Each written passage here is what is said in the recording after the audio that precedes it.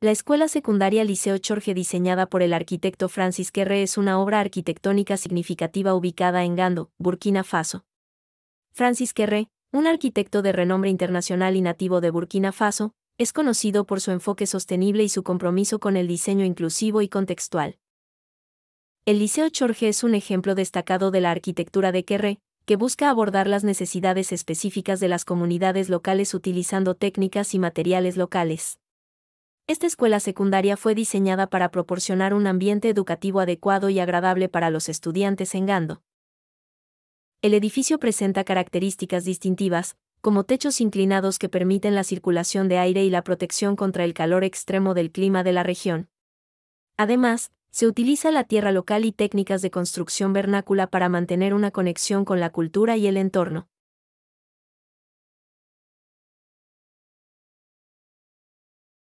Si les gustó no olviden dejar su like y seguirnos en nuestras redes sociales para más arquitectura. Hasta la próxima amigos.